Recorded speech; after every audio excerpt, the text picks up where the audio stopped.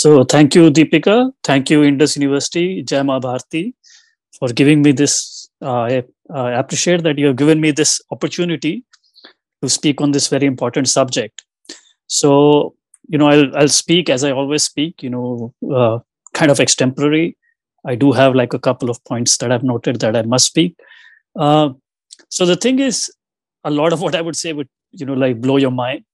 So my handle is Puneet underscore Sahani my first name underscore my last name and you know from there you can also get the handle of our seva account so because they've made a lot of fake accounts so whatever we say you know if you ask and say we'll actually give you evidence for what i'm saying a lot of things would really be unbelievable for you to hear and thank you a lot to like uh, stupendous response so i've heard like this is one of the most uh, what do you say uh, enthusiastic participation in a talk. So I really appreciate the others who have joined in to listen as well.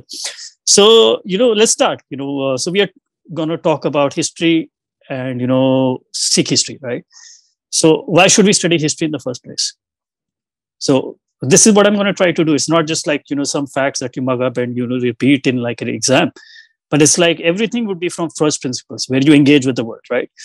So I think is history like an ideology like people use what they have done like the marxists have done or is it a science so what is the difference between an ideology and a science for the first place right so we as a human beings we are living a world and we are trying to make sense of it why has happened so ideology is something that offers an explanation why this is happening so marxism is an ideology but it is not a science because it is not able to predict actually wherever marxism has gone it has basically destroyed the society so the utopia never came that's why we'll put it in the uh, category of an ideology, not a science.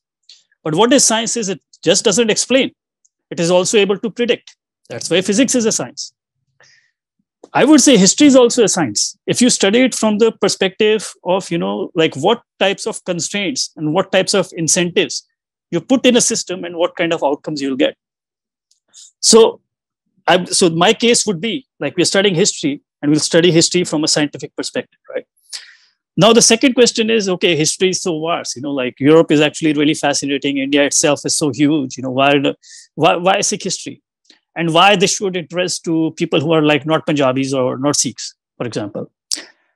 I would say, you know, Sikh interest, uh, history, like in our understanding of our freedom movement, of who we are as Indians, is the this Sikh communal politics that comes in like 1920s. And it comes when Muslim League politics come, right? And this Akali Dal, like their earlier version was also called Sikh League. So Sikh League became like these different parties anyways. I think this is the most overlooked aspect of our historiography. So we don't understand. And to study this, you know, we will understand what is happening. So, you know, like for example, what was the Muslim League demand? You know, uh, so uh, they say, we are a separate nation and we are an equal nation. So what does it mean? Like they were 25%. So they were like, you know, like we can't be one nation, you know, like uh, Juda Gano Komiyat. So we cannot be like one nation together. Like we can't be all Americans. We can't all be British.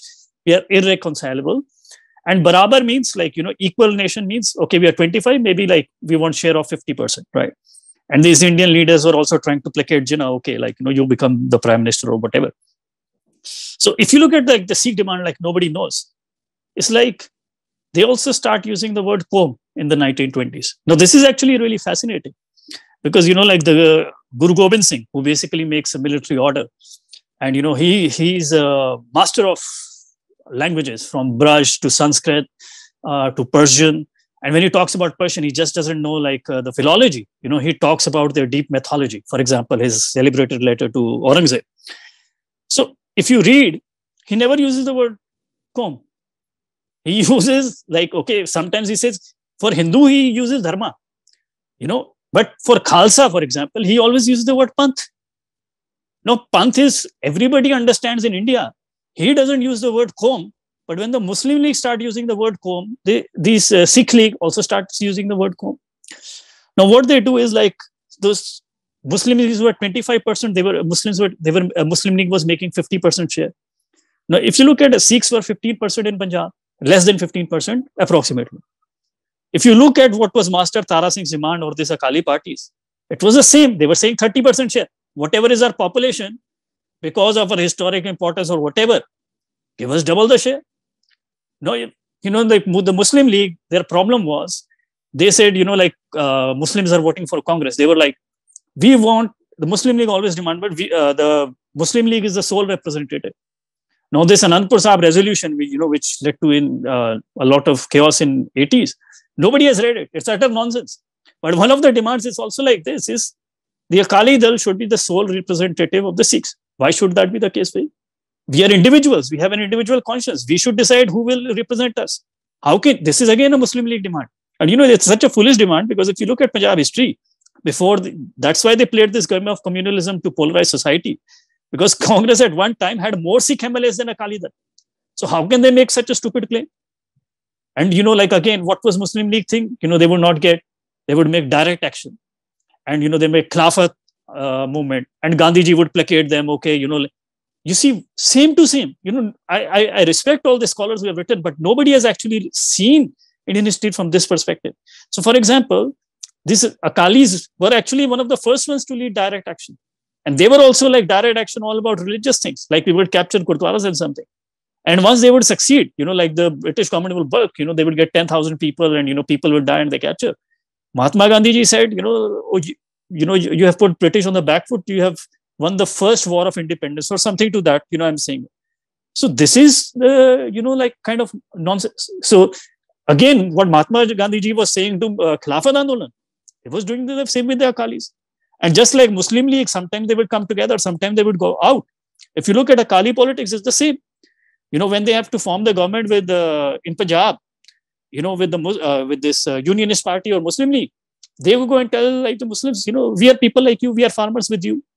When they want a favor from the Congress, they go to the Congress and they say, you know, uh, Hindus and Sikhs have roti beti ka rishta, which can, which is true you know we we share our daughters like we intermarry our daughters to each other like you know we give uh, the hand of a daughter to the other family and we also share food. Like no if you marry daughters into each other then there can be no so there is two. So you know they would just like what jinnah would say like you know something to somebody to Mus, um, muslimly uh, to what this mullahs he would say something else. In like to the british he would say something else. The exact same thing this you know the sikh communal politics was doing. And you know again you know like it's not just like this trivia it can also uh, you know make you understand. So for example when pakistan happens in 1946 90% of muslims they vote for pakistan right? And this is again like a very painful chapter of our history. Now there are some who try to hide it. This is what our history has done. Now there are modern ones because some have pointed it out they try to whitewash it. They say only not 100% people are voting. Of course what kind of idiotic lo- uh, logic is it? Of course you know like uh, there are only people of a certain age who can vote. And they're saying only people who had certain land who could vote. But again this is a foolish logic. Because if you look at this yes the the mullahs had unleashed a movement. They were saying like if you don't vote for pakistan or this muslim league you're not going to be muslims. We are going to dissolve your marriages. So this was going to affect people who didn't have land or who were poor not these people it, it was going to affect less people who had land and you know who, who had like their own property and who were well off. So if anything if you would have included people who didn't have land and couldn't vote then they would have voted probably even more. So you know they try to hide it and other but i would say look at it another perspective. This was just one election. In 1937 muslims had not voted like this for muslim league. They had voted for congress. If you also see when you unleash these genie so for example uh, you know when they unleashed this in 80s this terror in Punjab. Now, in 1989, if you look at the election, Punjab has, uh, what do you say, 13 Lok Sabha seats. So 10 were won by Khalistanis. Again, 90%. So the Sikhs, if you put this communal charge, if you set the same incentive and constraint and create the environment, even the Sikhs can turn as communal as Muslims. So 90% voted. So 10 out of 13 is 90%. And in the 10, two people who had won the election for Lok Sabha, their qualification were they were the wife and the father of the killer of Mrs. Gandhi. This was this. And they were not one, uh, I think, from uh, Bathinda and Ropar. You know, uh, the Beant Singh's widow and uh, father had one. So this was uh, uh, you know the thing so that's why i think uh, it's it's very interesting um, so let's go to like you know our you know three topics let's see how much time we have. So first is like abrahamization right? So for example what is wrong in abrahamization? Like again you know it's not just like we are there something wrong. It's actually like abrahamic countries like uh, who are built on judeo uh, uh, what do you say judeo christian values. Like for example the western europe or america i'm in america we want to live there. So c- cultures don't live in a uh, vacuum. They evolve with time. What i mean with abrahamization is basically this idea of a single truth and this purging of diversity. Now, this is actually a very painful thing. This is wrong. And if you look at christianity that's basically you know it has gone through very uh, painful stages.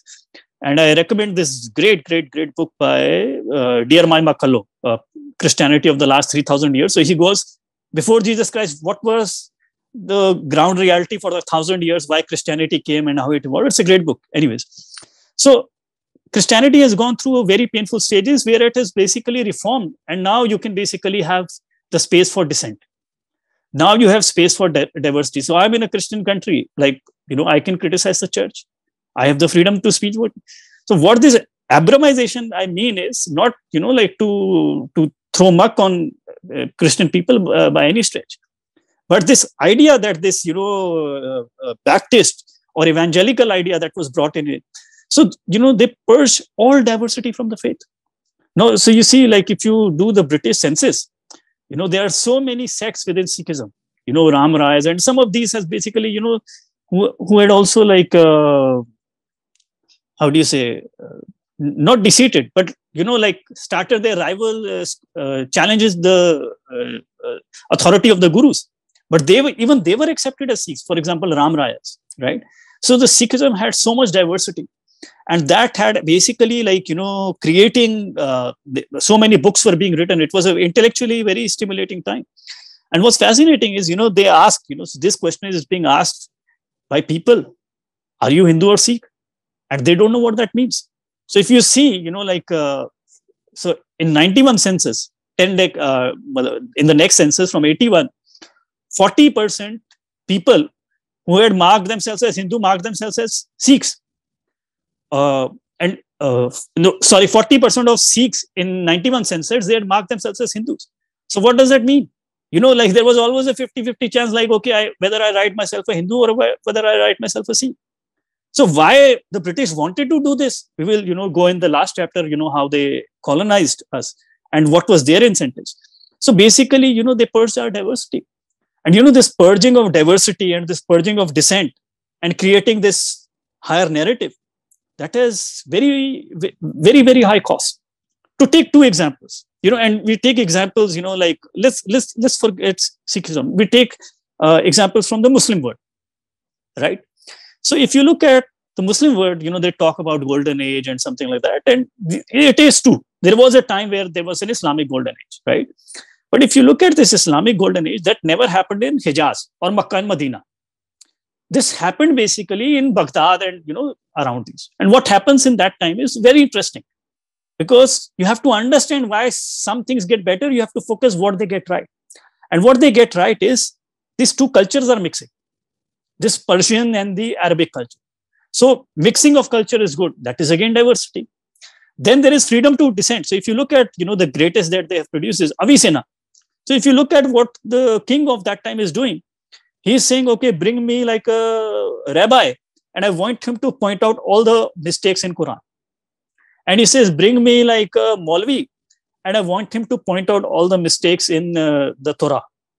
So you know there was freedom of uh, conscience freedom of speech you know freedom to dissent. And that's why it came into being. Now so you know like and now when you see like for example uh, when you set a narrative, which is basically like Pakistan. So now it's basically they have set a country on two nationhood, and now nobody can question it. So wherever they exca- excavate, they find their Hindu roots, their Buddhist roots. They can't do it because the narrative has to win. So they whitewash it. So you know their language is Punjabi. You know everybody understands it. It has to be whitewashed. You know it reminds themselves of connection with like their larger Punjabi culture put on Urdu because they think, you know, Urdu, Urdu, Urdu actually means an army. So this was the language of the army. So what kind of people they have created is basically, you know, people completely disconnected with their culture. People who have just like a higher narrative, but their culture and higher narrative are in complete contradiction with each other. And that is kind of what SGPC is doing in a way. And that's why, you know, you have this mass conversions into Christianity and Khalistan because, you know, these people that they have converted SGPC, they're complete lunatics because they're not connected with their culture. And, you know, you, they have just put theory in their mind. That theory is not connected to the ground. So, uh, uh, and you know, like even, and when we, so we talked about like the Muslim golden age. Now we move to the Sikh golden age, which is Maharaja Ranjit Singh's time. Now, if you look at Maharaja Ranjit Singh's time, you have religious freedom. No, you know, this heretical sects, you know, that came out for, uh, you know, this Nirankaris. Bhindranwala, you know, he was a monster and, you know, we have put his video where, it, you know, he just says the most outrageous things. Like, for example, there is a statement, he says, if my bus is not released, I will chop 5,000 Hindus in like one hour. So this kind of person has been made by a saint by this, you know, you can imagine what is their conscience and what is their intelligence. But anyways, he comes to the stage first time in 1978 with this Nirankaris conflict with this. What are Nirankaris is? You know, uh, they're a sect of uh, Sikhism. And nobody, they come from Maharaja Ranjit Singh's time. So what does that mean? Or this uh, Namdharis? That means there was religious freedom. You can start your own sect. Nobody has any problem with you. But, and you know what they say, you know, like recently, I also said, you know, he's one of my uh, most inspirational figures, Guru Tegh Bahadur. But they say Guru Tegh Bahadur sacrificed, uh, sacrificed his life for religious freedom. What kind of religious freedom are you offering in Punjab? So, you know, they, uh, SGPC issued a fatwa in 1978 and we have put it on uh, the Seva handle and we have also translated some line. You compare him to Aurangzeb, to what SGPC has done. Oh, I'm not saying Aurangzeb was like guiltless. You know, he has sowed seeds that we are still suffering from. But compared to what this SGPC has done, Aurangzeb is a lamb. You know, he was, he reigned over this such a huge country. He could have done whatever but you know he would like basically take these people and he would say okay like convert to islam or whatever otherwise i'm going to like kill you and you know like torture you or i'm going to destroy your temple. This sgpc in 1978 issued a fatwa on this uh, nirankaris who are 5% of the punjab population. In complete genocidal terms anybody can read it. You know we have translated part of it. Anybody in gurmukhi you know you can do it. They call them scourge to humanity. They all methods to be you should be used to push them out. And you know what? So you know they have done so what power they had sgpc they have worked worse like Aurangzeb. And you know, this 5%, they hid like, uh, what do you say? They became like Jews in a Nazi country. So they couldn't practice overnight their religious, uh, what do you say, congregation hall shut down. And even now, somebody has told me, okay, some are sprouting up in Punjab. But if you say, like, you come to Delhi, you will see Nirankari Bhavan everywhere. You'll see Himachal. You'll see Nirankari Bhavan, Haryana. Actually, where SGPC rules, where they claim they rule in the name of the gurus, that's where we have the least religious freedom. You know, they, they speak uh, such kind of nonsense. And anyways, you know, like, okay, like Mara, and it's just not diversity, like Maharaja Ranjit Singh's time. It is the apogee of Sikh power. So if you look at uh, of that time, how he saw himself as, you know, a Hindu or, you know, like some cult, you know, like evangelical cult. So, you know, anything. So, for example, if you look at his mausoleum, his mausoleum is uh, what we call a samadhi, you know, because thankfully it is in Pakistan. So this SGPC has not broken it. If you Google Ranjit Singh Samadhi Lahore, you find his Samadhi has an uh, uh, uh, idol of Ganesha front and center. If you enter his Samadhi, there is uh, sun god Surya Devta because, you know, he says, I'm from the lineage of, uh, what do you say, uh, from this, what do you say, Suryavanshi. So, you know, his coin. So you, you say, for example, his coin is usually say Akal Sahai uh, Nanak Ji, uh, Nanak Dev Ji, right? So he says like timeless or like the God, you know, blesses Guru Nanak. But if uh, I forgot the year, I think, you know, we have posted on our handle. You can go and check and look. So it is in the British Museum. In some places where, for example, he says Akal Devki Nandan Ji, Namdan in, you know, a branch. So what means Devki Nandan is what Krishna. Krishna is God himself. So these gurus, they were basically saints who were sent to, you know, re- re-energize and, you know, revival and teach bhakti and stand for dharma. They were not like prophets that they made out to be like Islamic prophets or something like that. No, God was Krishna. Guru Nanak was a great saint. Then if you look at his, you know, battle flags of Maharaja Ranjit Singh's time, they have like again all their Hindu battle flags. So they have like Durga on top, they have Hanuman, they have Kartike.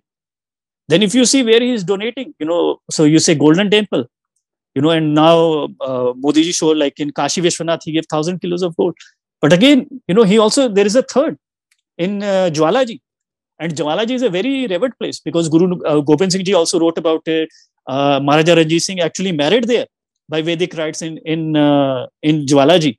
And you know, it's actually very dangerous. When he was in bad health, he sent his grandson, which was like you know a very dangerous thing to do, because you know like uh, it was not democracy. Okay, this next person is going to be a ruler. You know, people kill each other, so they had a chance. But that person went, left Lahore and went to uh, Jwalaji to pray for Maharaja Ranjit Singh's life. If you look at, you know, uh, pilgrimages that uh, uh, he's doing, he's again, you know, going to uh, Jwalaji, where he is giving donations. He's giving donations to Udasis and uh, Nirmalas mostly. They were like, again, a Sikh sect which have been removed from Sikhism by this, you know, evangelical cult of SGPC. You know, they were the scholars and they saw themselves uh, strongly in the Hindu fold all the scholars that came like big scholars, they were either Nirmalas or Udasis. And now, because they would not reject themselves as being Hindu, they were purged out of the faith. So this is what they have done. So um, now, if you point this out, you know, like, you know, again, this such a confused generation. If this Khalistani, they say Khalsa Raj, Maharaja Ranjit Singh. But if you point them out, they have no answer. Maharaja Ranjit Singh's everything what he did. So, so for example, the only punishment that brought like uh, uh, capital punishment was not if you tried to kill the Maharaja. Somebody tried and he was not killed the only uh, crime that brought capital punishment was cow slaughter in Maharaja Ranjit Singh's empire. So, for, you know, when he he he died, uh, you know, a Gita was kept on his body, and uh, you know, everything from marriage to his children to how he fought to you know, like what he built, you just see like he, you know, completely in like a Hindu fold. And idea was yes, we are a part of Sanatan Dharma, and so now they say no, no, Maharaja Ranjit Singh was you know like uh, corrupted. You know he became brahminical. Again you know this is so much nonsense. Okay what is Sikhs we didn't really have a kingdom but you know if you leave Maharaja Ranjit Singh's time Guru Gobind Singh Ji had two darbars in Paonta Sahib and you know like Anandpur Sahib and what you have is basically you know so for example he's very famous he had like 54 poets in his assembly and you know 52 sometimes it, it's a number it could be uh, maybe it's 50 it's 48 or something but it's like you know a mythological number so it's uh, they say 52. But if you look at what these people are writing, these people are writing different versions of Mahabharata. Why are they writing if they have nothing to do with Sanatan? They are translating, for example, what are the classical texts of warfare of our uh, of our past. They are translating it into local language. So why were they doing it? You know, and like for example, uh, Guru Gobind Singh Ji, he makes this uh, uh army. So he writes Ugradanti it, it's it's a very very powerful and you know even if you read today like you're blown away and Nihang Singh so you know it's just called sometimes it's called Chakechan it means it's only Chechan it's only six verses so you know if you read what it is again it's like classic it's not just like uh, uh, uh, what do you say worship of uh, Devi of Durga and you know this part was actually part of his granth that came before Shastranamala before you go to weapons you worship the Durga, which gives the weapons, right? And again, it's version of it. It's basically like classic Hindu version. So, for example, how you do is, you know, first you say Ahvan, then you basically say Ahvan is invocation. Then you say, uh, what do you say, Ustati, you know, like you you you sing praises of it. Then you say Benti. Benti is after doing it, you request, okay, give me this strength, and you know, I'm I'm going to do it. And then is falshruti. Like so you do it in a congregation and everybody who has listened to it would be would be blessed. So you know this this uh, ugradanti follows exactly this pattern but you know what this khalistanis do? It again you know this started by this british. They will pick up one line and they will do it. So for example there is one line. He says you know uh, i want to start a tisar panth. I want to start a third way.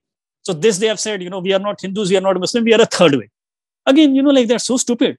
So it's only, as I said, you know, it's chechand or, you know, six, uh, what do you say, uh, uh, paragraphs or, uh, you know, like uh, it's it's not that big. You can read it. So this is line 119 where he says Tisarpan.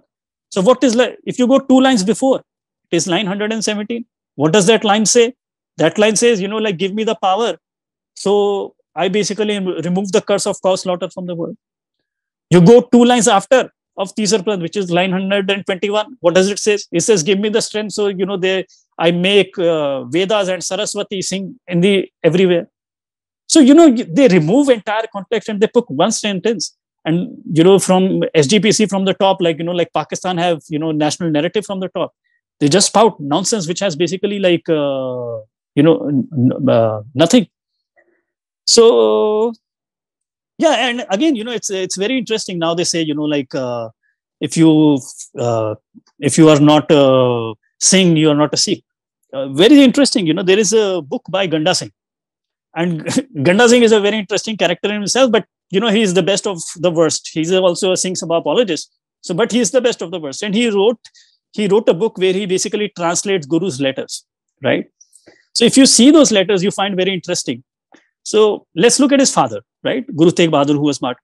Most of them are going, you know, to east of India.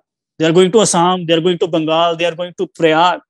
So this idea of like locating Sikhi to a geographical location or a language is completely stupid. Why is he sending these letters over there? He was basically charging in the east. Now, if you look at the uh, his son, after he has made the Khalsa, you, he sees letter. So when this letter was sent, they were usually sent to like an important person. And then, you know, so uh, important people, like four or five people.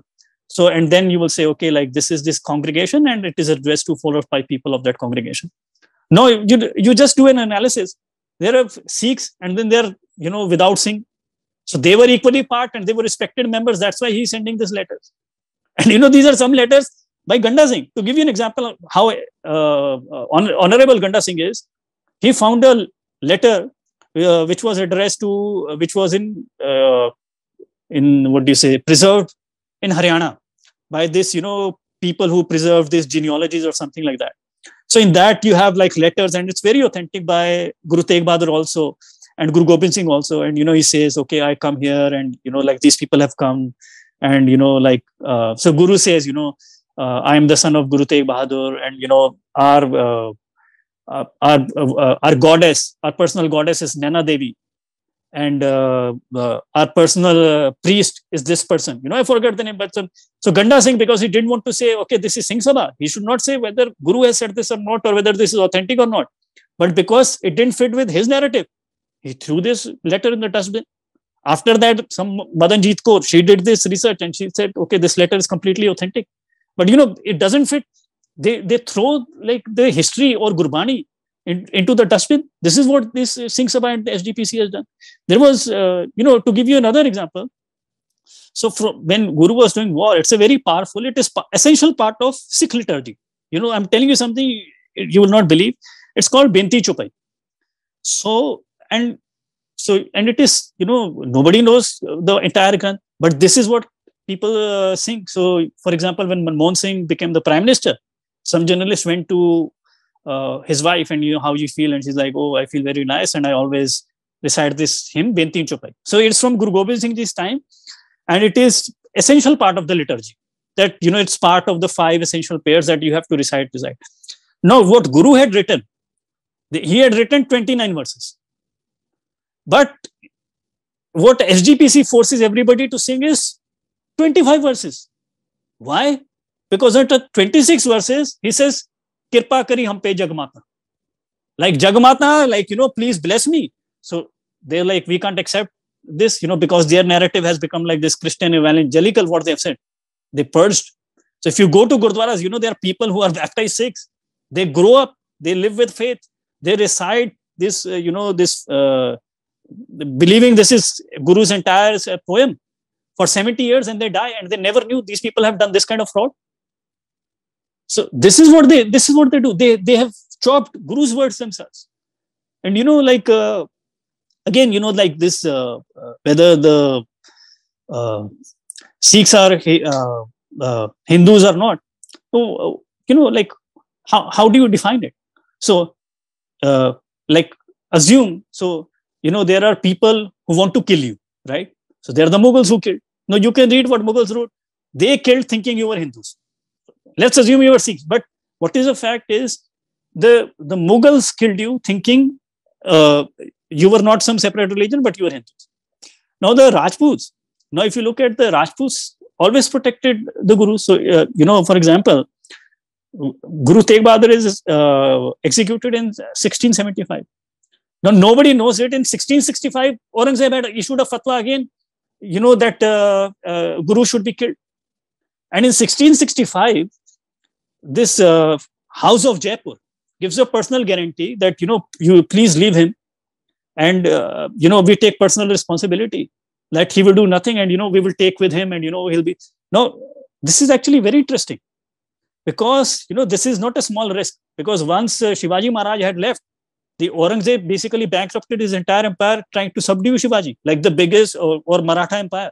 So the biggest monument he created, and you know that was uh, the biggest monument in the entire Muslim world for over two centuries, was this Badshahi Masjid in Lahore. Aurangzeb created when he thought he had subdued Shivaji Maharaj. So, and again, you know, Shivaji Maharaj escaped, and you know, so he was like, okay, he, he should have thought, you know, there is this uh, guy, uh, uh Guru Tegh Bahadur, he is respected by all hindus. And you know he's traveling you know he's also armed and you know he has a spiritual power. And you know like what if he becomes another shivaji maharaj? And you see when the uh, house of jaipur releases him he has been married for 30 years. He doesn't have a son.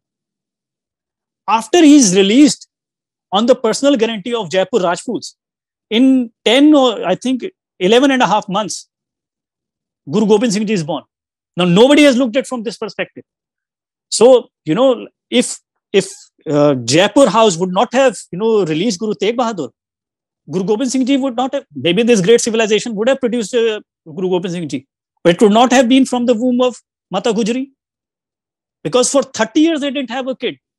And Guru Gobind Singh Ji has also said, you know, like when my father was released, you know, he went to Prayag and he went to, and he did all this tirath. So I could be born and I've been born to, you know, fight for Dharma so again you know like uh, uh, this is what they're doing and uh, you know like it can just like become uh, what do you say uh, like a very like but i recommend a great book by harjot oberoi and he wrote this book like um, almost 30 years ago 1994 and it's unchallenged. It's one of the greatest book of Sikh scholarship. It's called construction of religious boundaries uh, you know in uh, in sikhism and it's an excellent book. And he basically goes in this 80s 90s how this abrahamization of sikhism comes and you know there is a contest uh, contesting between uh, traditional sikhs and this neo sikhs that have been created by the british. So it's an excellent book. But what i've been trying today is like this is in the middle abrahamization. There is something ahead of this what happens and that is and there is something behind it. So we go ahead which is dehinduization and the sikh communal politics which is exactly like muslim league I've already like gone in the beginning of this thing. So, for example, you know, uh, uh, the biggest problem was this. You know, when they uh, wanted to create a separate Sikh identity, was this they not only they were intermarrying, their marriage rituals, their birth ceremonies, uh, their death ceremonies, they were all the same. So they created this new thing that you know they have to be separate. So the birds separate. Now, this, for example, you know, the Sikhs, before that, they were marrying by Vedic rites. You can read the British system, or you can read the British travelers, or the British government, or the people who anybody who has written. So they created this Anand Marriage Act in 1909. And you look at what is fascinating is this Anand Marriage Act. It is not passed in India. The Indians here, the traditional scholars, everybody is opposed to it. So what British take is they take this Anand Marriage Act to the Imperial Legislative uh, Council. What is Imperial Legislative Council? It's in Britain where only like princelings can come. So they get this guy from Nabha to basically support it. So they they get it in England and they forced it on us. So again, separate identity. For example, now the other thing is, you know, they created this Kaur. Now again, this has been thought of, you know, uh, you know, everybody thinks this is Guru's order. Every Sikh woman is a Kaur. This is also a hundred-year-old uh, creation. Bhai, Kaur is a Rajput title from cover and some women did have it. But if you look at, for example, Guru's wife, she's called the mother of Khalsa. I, again, it's from Ganda Singh's book. You know, you read, I don't know, maybe there are eight or 10 letters by her. You read in every letter, bar none, she has signed herself as Sahib Devi. She never called herself Sahib Kaur. But if you go, uh, if you Google or you go SGPC history or you go Wikipedia, you will find herself, uh, find her Sahib Kaur. So, you know, uh, this is what they have done. And you know what is so fascinating? Again, you know the uh, they said you know they went a step ahead. You know for example this indian idea for example there is nothing like hinduism there is nothing like sikhism because we are not a confessional idea. We are a we are not a confession based system. We are a knowledge based system. So the system is all about gyan. And we say wherever you come from gyan you know you bow your head. That's why wherever we see a temple wherever we see a saint we bow down that was our entire idea and that's why everybody was uh, coming also to it but you look at it even the confessional faiths, they were like, you know, you have to believe that Muhammad is the prophet of God, or you have to believe Jesus is the son of God. You know, they also ask for positive affirmation. But if you look at what the SGPC created, because they wanted to de-Hinduize it, they said to be a Sikh, it's not just you believe in gurus and you believe in the Granth, because but all the Punjabi Hindus believed in it. They're like, you have to be not a Sikh. No, you just imagine you know what they have done. They have just like you know bypassed even the abrahamics by a long stretch. You know this is the communal politics. How can you say like you know like how can for example i can say uh, i'm a hindu only if i believe in arya samaj and i don't believe in shak you can say okay so what kind of nonsense is this? So you know this definition again what is what is to be a sikh nobody was concerned you know they were living by guru's teachings or something this idea of what is to be a sikh it has to be a negative definition that you are not a Hindu. That again comes from the British time. And you know, that is, an, so, and you know, again, this is this nonsense. So, what, you know, this is a completely manufactured narrative is also seen from another point of view.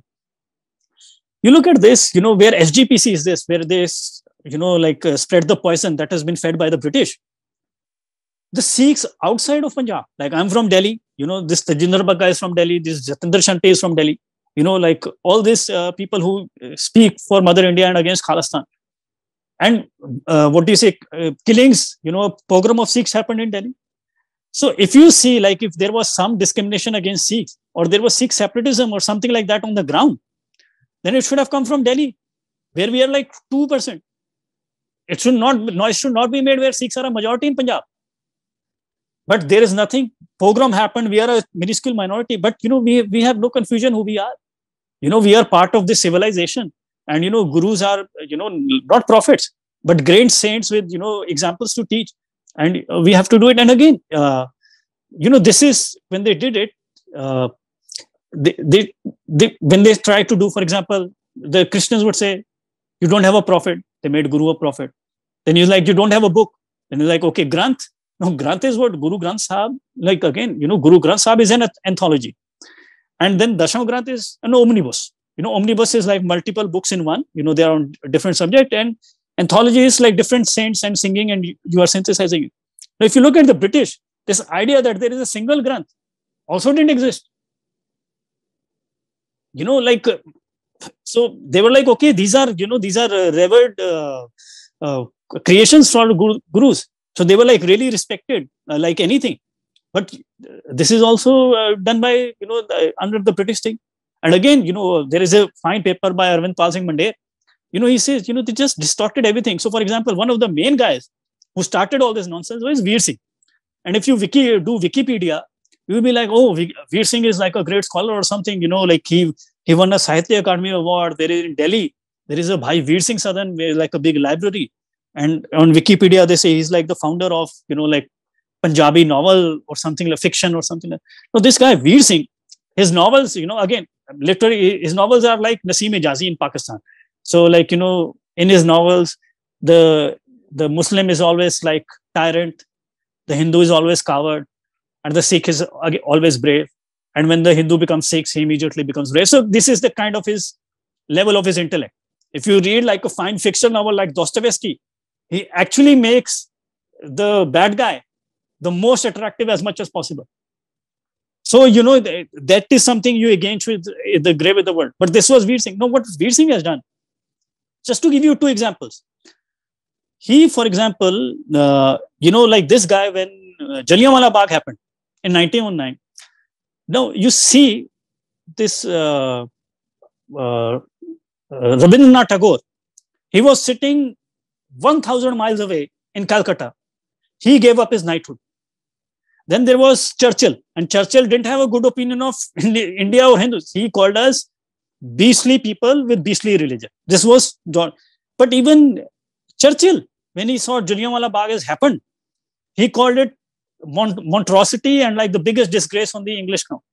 But this Veer Singh, who was sitting one kilometer from Jallianwala Bagh in his entire life, so he lived for four decades after, and you know he wrote pages and pages and pages and pages. He never said one word against Jallianwala or anything about Jallianwala Bagh. So, you know, these people used to polish the boots of the British with their tongue.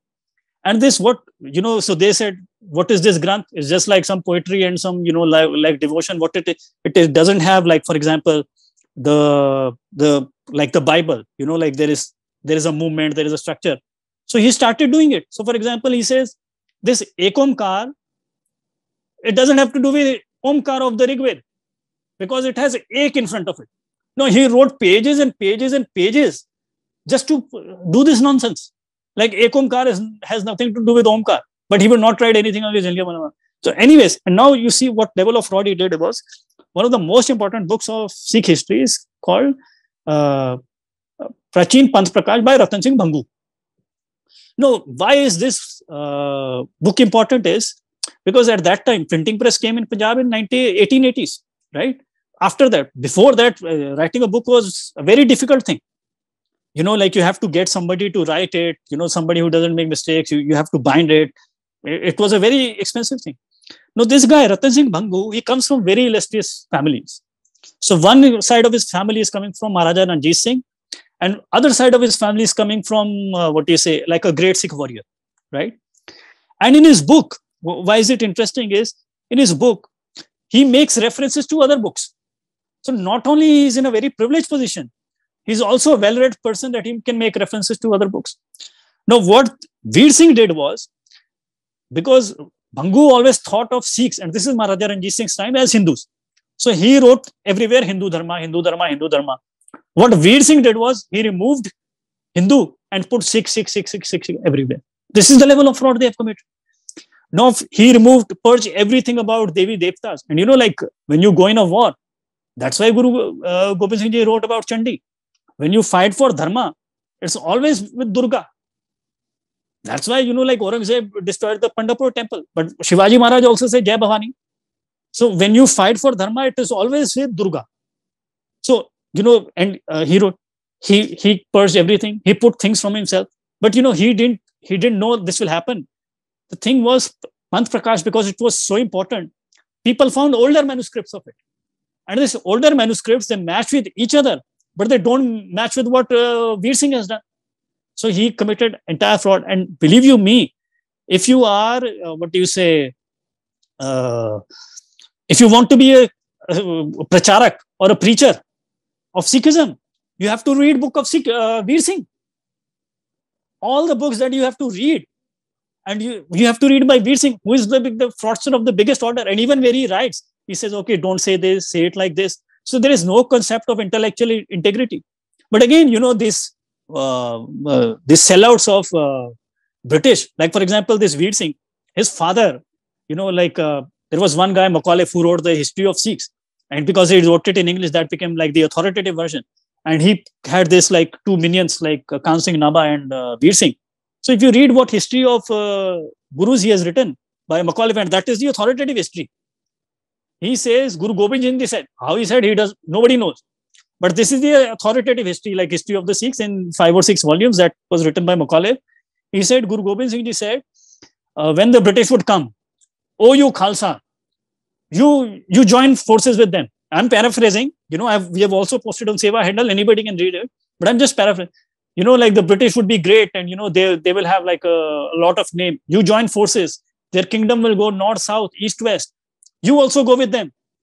And you know if you be loyal to them you, uh, the god is going to give you like uh, riches a lot of name a lot of fame a lot of health and a lot of winning. So that's it. Like he wrote the he wrote the history that basically you know we have to be toadies of the british and this uh, Veer Singh and Khan Singh Nabha, and you know we have nothing to do with Hinduism, so divide them that they don't uh, first join fight, and this is what they have done. And you know, uh, uh, what do you say? Again, you know, uh, so another interesting point is, for example, Sikh name. Now, for example, you see like Pre, Gore, and there is nothing. They're all good names and something like that. There is nothing like. But if you read like the older names from Sikh history, there isn't. I don't know any now Harjinder or Gurpreet or, or you know like this kind of Sikhs name.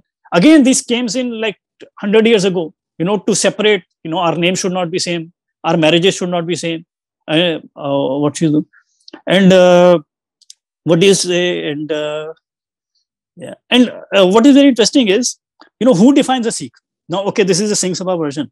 Now, when the British were saying, you know, like Sikhs are Hindus different, and this guy Macauliffe, you can have his secret CID reporting. He say, I have removed them from this uh, curse of pantheism and I've made them a separate nation. So when they say com, com, com, they should be very clear that they have been made a nation or this idiocracy of nation, not by the gurus, but by Macauliffe. And you look at when the British was forcing us this Anand Marriage Act and everything, who were the who can define? You know, they are the Sikh scholars who went who were who went to this gurdwaras and they said we were Hindus. Now, who were the what do you say the bloodline of the gurus? No, nobody has actually studied them. So you know, so the Guru Nanak, the first guru, his bloodline is the Bedis, and you know we had this, and you know they had the huge stature because they were the direct bloodline, and you know they were supposed to be like uh, possessed with spiritual power. Thousands of people will congregate, and uh, you know when they will go to Gurdwara, they will be given a gadeya. You know, like so they would sit on a bit higher position than the others and when this Singh Sabha started to make noise, they were kicked out. So they, they had a huge reverence that you uh, you can't imagine. You know, it's like, for example, this mostly of Shivaji Maharaj multiplied by a million. That kind of reverence they held in Punjab. And so that was then the third guru were Bhallas. They were always like the biggest scholars. So the guy who was the amanuensis of Guru Granth Sahib, he was also a Bhalla. And the Sodhis from four to ten gurus, they had political power. You know, if you had to go to Malwa, you had to take their permission. They had a lot of all these people who were the guru's bloodline, they said we were Hindus. Now, uh, what do you say? After them, what is the authority? Is the princely state. So when this started, Muslim League is making Pakistan. Some idea was we make also Khalistan, and they were like, you know, the biggest princely state was Patiala. So they were like, we'll make uh, Patiala uh, the uh, king of Patiala, the uh, head of Khalistan. You know, this was also like one of this Akali uh, uh, discussion. Now, if you look, the Patiala he basically said, you know, like we are Hindus. This is again a hundred years ago. This was not even uh, what do you say a shocking thing. It was the most natural thing, uh, you know, like that we are Hindus, and you know there is a great book. And again, you have to. Uh, uh it's called uh, Sikh Separatism or Politics of Faith uh, by Rajiv Kapur, and that was written by he, he was doing his PhD thesis in 1980s. And when I was going through India Today archives, I just read a review by Tavleen Singh, and then i made sure i found the book and now i've always also put the pdf online so you can get it. It's one of the most important books that anybody should read who is interested in it. So you know this discussion happened in punjab assembly. And the hindus of punjab they say you know we have been revering. They come from our caste. Uh, you know we intermarry we revere we always keep granth sahib in our home. Like how can you say we are not sikh we have always been sikh. You know you see the lectures our ancestors were sikh. The gurus had like close relationships with them. And how can you say it? And you know they would send these discussions to the central government central british government. And the central british government say like what they are saying is completely logical. But they the punjab government the punjab british government would say you know you are giving a lawyerly argument. These people are doing direct action on the street. So they basically gave into this uh, akali demand you know create the separate hindu sikh identity and only somebody who says who is not a hindu only he can be a sikh. That nonsense started from there so this is again a British thing. And even if you read like the British papers, they agreed this doesn't have basis in honestly or in truth or in logic or what do you say in fact. But it is something they had to concede because of street muscle of these Akalis. And if you look at like Punjabi Hindus, you know, they keep getting abuses because they have become like just like Pakistanis. Uh, they never abuse any of the Sikh gurus because even today, you know, they intermarry. I am married into a separate panth you know we have no separation. We just respect each other. We are part of this uh, greater civilization. And you know uh, uh, so now like for example you know like now we move this was like for example dehinduization. Now you go to uh, uh, the first point colonization. So you see colonization when this happens so punjab is basically two parts you know largely divided by satluj one is eastern punjab that Punjab we have in India, right? And that was ruled by British or the princely states. And one is the above Satluj Punjab that is in uh, uh, Punjab in Pakistan. And that was ruled by Maharaja Ranjit Singh. Now, if you look at this, like the British come here, but they, they don't enter, they don't enter for a decade till Maharaja Ranjit Singh has died. Like the, the uh, what do you say, or seven years till Maharaja Ranjit Singh has died. When British come, they create churches everywhere in Kapurthala and everywhere. But there is no church in the Pakistani Punjab or the main Punjab or Maharaja Ranjit Singh Khalsa Empire. When the British come, immediately the very same year they create a church in Punjab. And what does that church do? You know, like people will go and this called mass conversion. It was not a small thing. They converted, uh, what do you say, the scion of Kapurthala. So Kapurthala was the second biggest, uh, you know, princely state. So imagine it, I don't know, not Pune, but maybe they created the Raja of, you know, uh, Gaikwad of Baroda into Christian. No, it was like a big threat. They converted the son of Maharaja Ranjit Singh into a Christian. Now imagine if Sambhaji Maharaj had converted into Christian, uh, uh, into Muslim, what kind of, uh, how would they have felt? So, you know, these people who had defeated their empire, they were converting, you know, the son of Maharaja Ranjit Singh. They went to Golden Temple and they created like a seminary outside Golden Temple. They created even a bunga inside. And what they did was in the Sikh missionary college, where people were being tried to be Sikh missionaries, they converted Sikh missionaries into uh, Christian missionaries. And you know then it became like a crazy. so the british idea was you know like convert these people. But they were doing this and at that time if you look uh, the population of you know the sikhs in the british army is actually very less. But when this 1857 happened and if you look at the british they, they didn't know whether the sikhs or the punjab is going to join uh, this national struggle or not. And they were really afraid. But when punjab doesn't join this uh, mutiny of 1857 then they basically saying okay okay these people we have to have like some people you know to uh, control these same indians because they were a very uh, small uh, uh, minority here.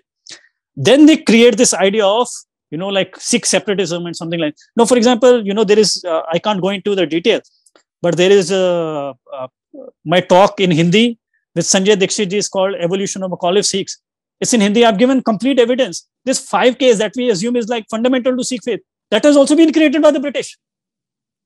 It has no basis. Now, uh, what do you say?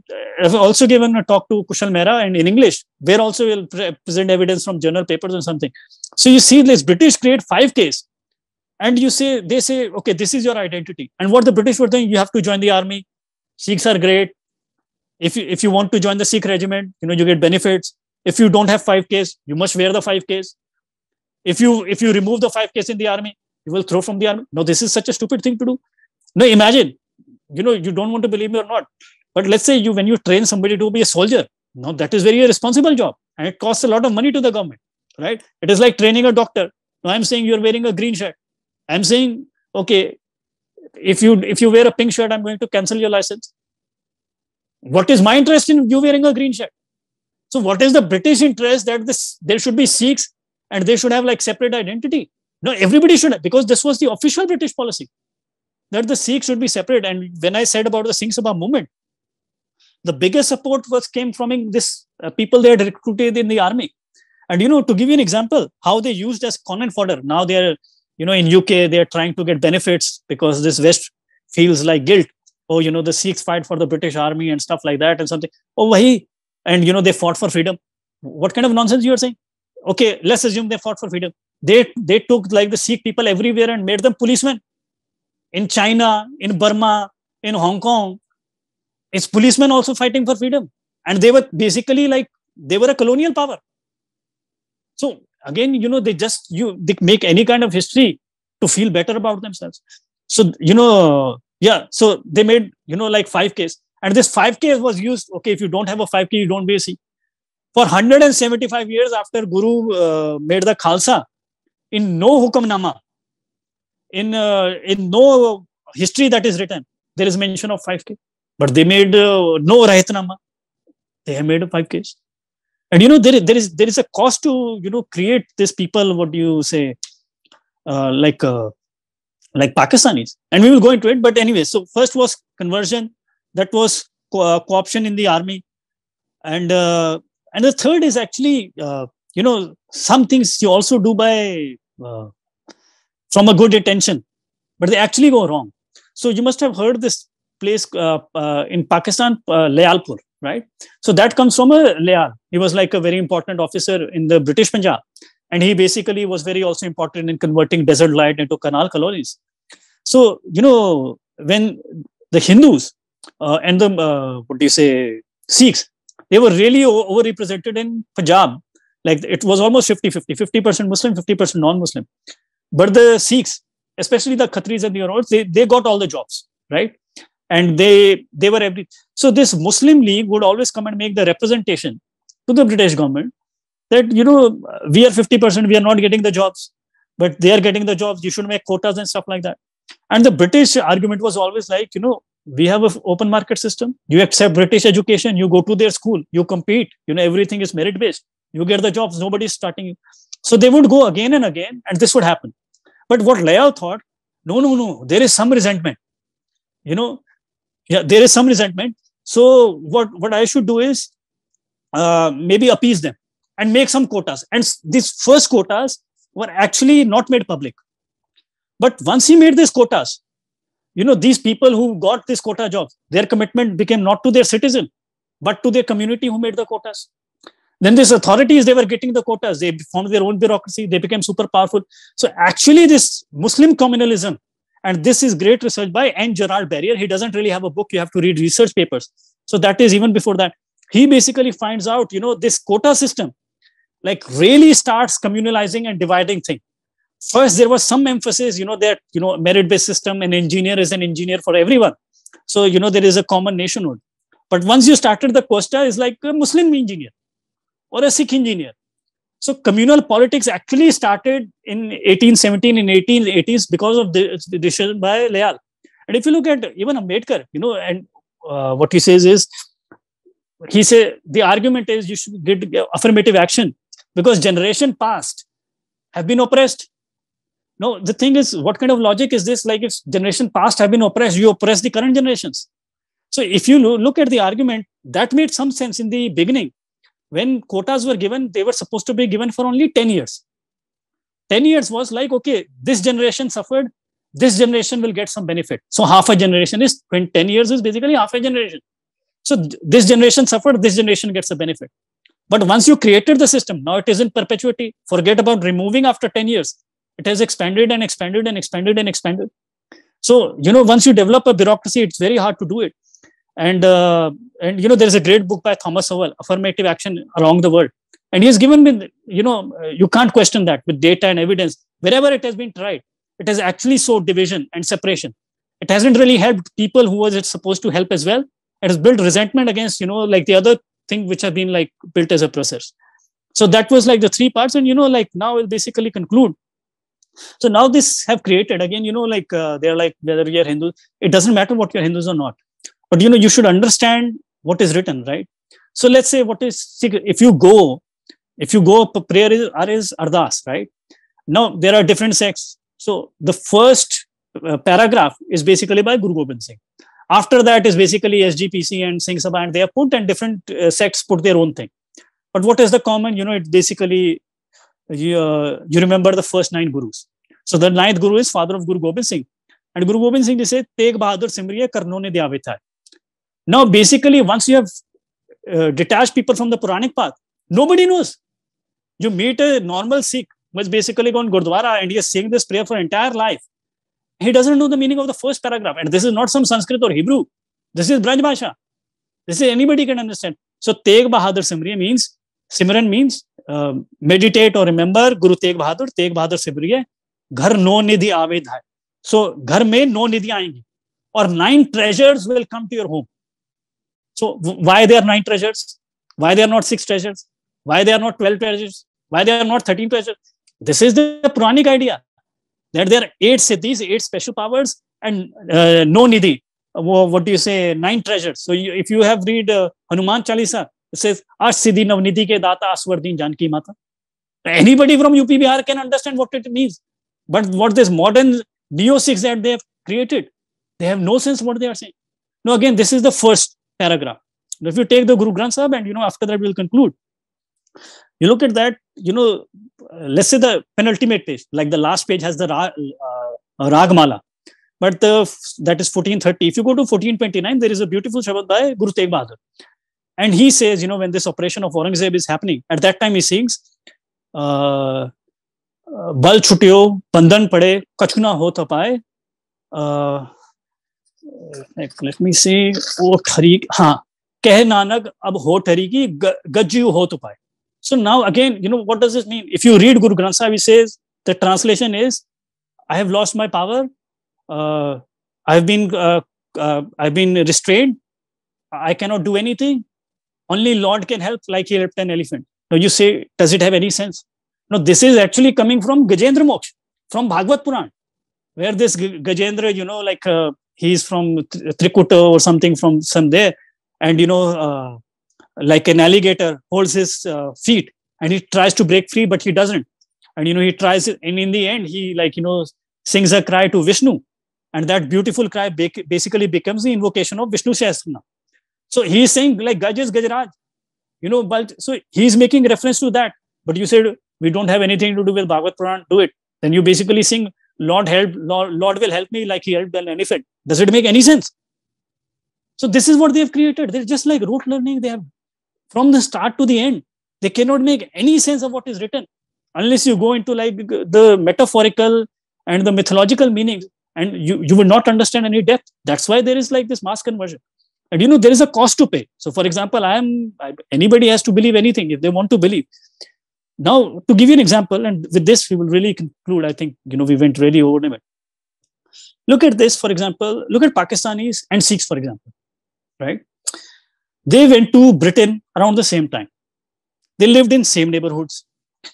They went to the same schools. They got same education. They came from same background. Their parents did the same kind of blue collar jobs, you know, like cleaning toilets, working in the airport in the 60s, 70s. No, after that, what you see is like Pakistanis are at the bottom and the Sikhs are at the top. They're even above Hindus, right? I think they are the second most uh, just uh, Jews so, you know, like uh, they have like three or four times uh, uh, the income of the Pakistanis.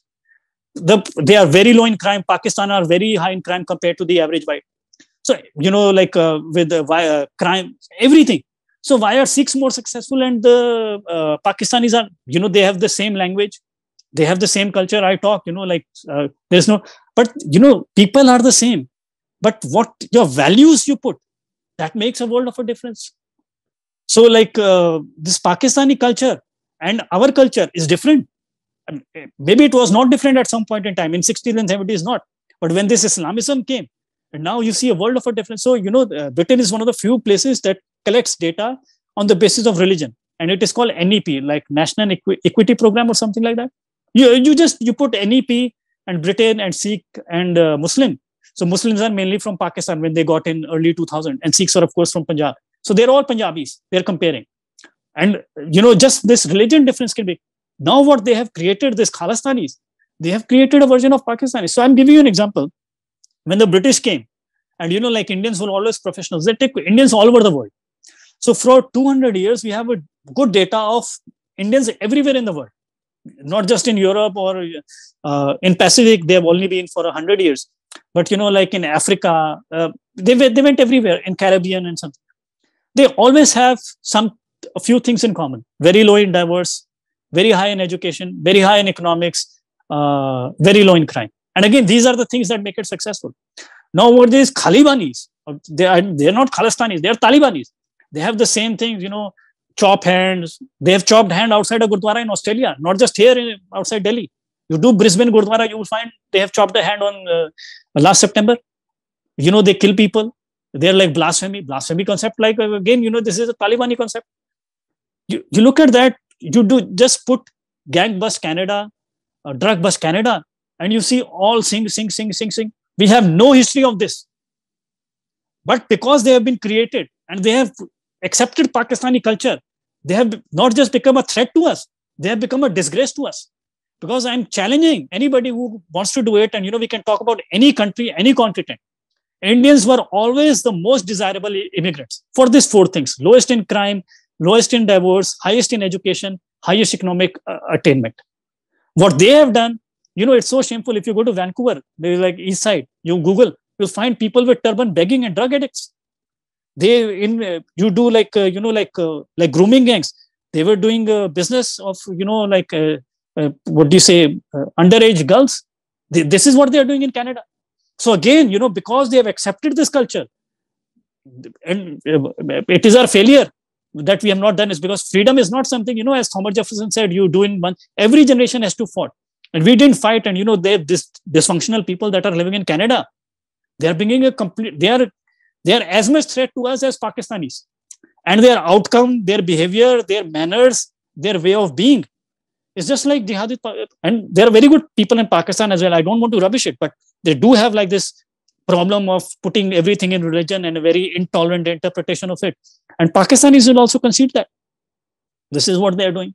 So now what I've said, you know, like uh, uh, like this three phases, what happens is colonization, then Abrahamization, then dehinduization. It's not just this happened. And I think I've made a strong case. But there has been a cost to pay for this. The cost is like, you know, uh, uh industry is dead in Punjab they are going like donkeys there and they're indulging in all kind of things that have no association with Indian immigrants. What, what these Khalistanis are doing in Canada, and it's it's a it's a very dangerous thing. And you know, like again, they have destroyed our Guru gifted uh, reputation. And uh, if I think this is uh, a very painful, and if we don't rise, it's not about whether Hindus or Sikhs or not. It's about values, whether we have uh, uh values of dissent or not whether we have space for questioning or not. And that is about being Sanatan. Whether we have the values of let knowledge come from all directions, whether we focus on the common humanity of all, whether we can integrate everybody in our, uh, uh, what do you say, understanding of things. That is Sanatan. It's not again take from one belief system to another. So what we are fighting is an evil jihadi cult. And uh, the primary responsible for this is, of course, like the British who set in motion and SGPC, if you look at their behavior, this is basically Pakistan inside India.